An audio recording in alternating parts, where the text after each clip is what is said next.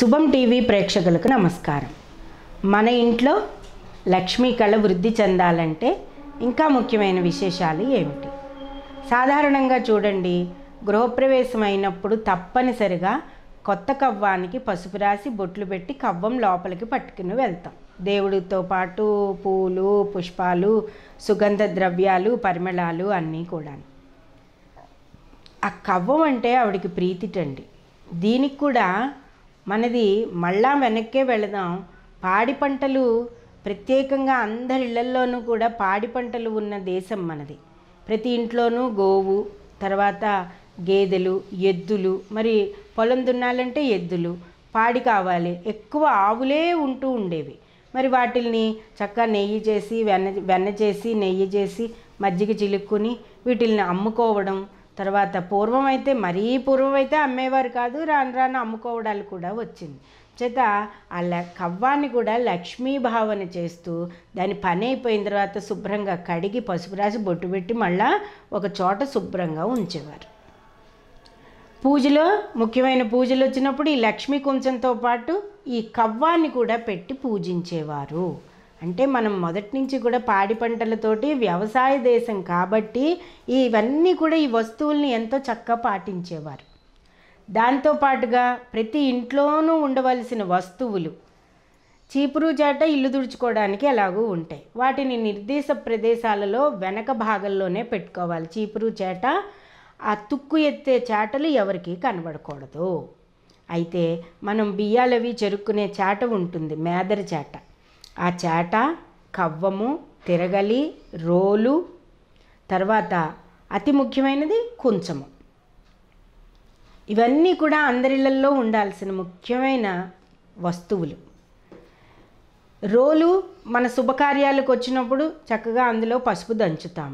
ఆ రోల్ని రోకల్ని కూడా పొద్దున్నే చూడండి మీరు పూర్వకాలం ఇప్పటికీ కొన్ని పల్లెటూరు ప్రాంతాలకు వెళ్తే ఆ పచ్చళ్ళు నూరుకునే కల్వన్ రాయి ఉంటుంది కదా దానికి కూడా పసుపు రాసి సన్నికల్లు అంటారు. దాన్నే సప్తపది అడుగులు వేసేటప్పుడు గౌరీదేవిగా భావన చేస్తూ సన్నికల్లు తొక్కిస్తారు.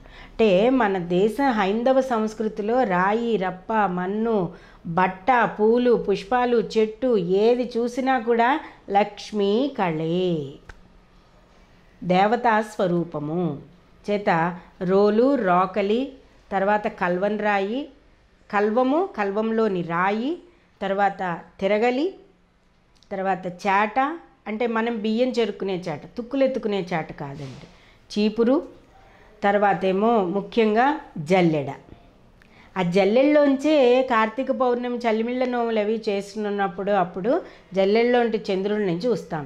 ముప్పై మూడు పున్నాలకు కూడా జల్లెడు కన్నాల్లోంచి చంద్రుడిని చూస్తాం. అంటే సహస్ర చంద్ర దర్శనం అవుతుంది అనమాట అందులో ఎన్ని కన్నాలు ఉన్నాయో అంత దర్శనం అవుతుంది. అన్ని ఏళ్ళు మనకి ముత్తైదు భాగ్యాలతోటి భగవంతుడు మనకి సకల సౌభాగ్యాలు చంద్రుడు ప్రసాదిస్తాడు. ఇది దాని అర్థం. ఈ వస్తువులన్నీ కూడా ఏదో గవ్వలు గురువింద పూసలు గోమతి చక్రాలు ఇది ఆవిడ ఆ సముద్ర గర్భంలోంచి పుట్టినవి శంఖాలు ఇవన్నీ అయితే తులసి కూడా మహాలక్ష్మి స్వరూపము. తులసి కోట ఉంది. తులసి కోట లేకుండా కూడా ఏ ఇల్లు ఉండకూడదు. తులసి కోట మా ఇంట్లో తులసి మొక్క చ మొక్క ఎండిపోయిందండి చనిపోయిందండి అంటారు చాలామంది. అలా మాట్లాడకూడదండి. మొక్క నిర్వీర్యం అయిపోయింది మళ్ళీ కొత్త మొక్క వెయ్యాలి అనాలి. అది అవుతోంది అనగానే మనం తెచ్చి రెడీగా పెట్టుకోవాలి. కృష్ణ తులసి లక్ష్మీ తులసి కలిపి పెట్టుకుని పూజించుకోవడం మంచిది. ఇలాగనమాట. అంచేత ప్రతి ఒక్కరూ కూడా ఈ వస్తువులన్నీ కూడా ఇప్పుడు ఇవి అవసరం ఉన్నా లేకపోయినా కూడా ఇవన్నీ కూడా మనం ఉండాలి వాటిని వాడుతూ ఉండాలి. ఒకప్పుడు లేడీస్ జిమ్ ఏంటండి అంటే రోలు రోకలి చేట చక్కగాను ఈ తిరగలి ఇవన్నీ చెప్పేవారు చీపురు. ఇవన్నీ ఉండేవి. ఇంక ఇప్పుడు అవేమీ లేవు. మనం నిజంగానే జిమ్కి వెళ్ళడం జరుగుతుంది.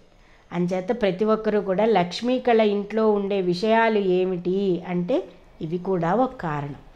వీటిని వాడడం కూడా అలవాటు చేసుకోండి. మిక్సీలు వచ్చాక రోళ్ళు వెనకబడిపోయాయి. పిండి మిల్లులు ఎక్కువైపోయిన తర్వాత ఆటాలు బయటకి బహుళజాతి సూపర్ మార్కెట్లలో దొరుకుతున్న తర్వాత ఆటాలు ఎవరు కూడా పట్టించుకోవట్లేదు. సో వీటి మూలంగా కంఫర్ట్స్ మూలంగా కొన్ని వస్తువులు వెనకబడిపోయాయి. జ్యేష్ఠాలక్ష్మి ప్రవేశించడం జరిగింది. ఇవన్నీ కూడా లక్ష్మీ స్వరూపాలండి.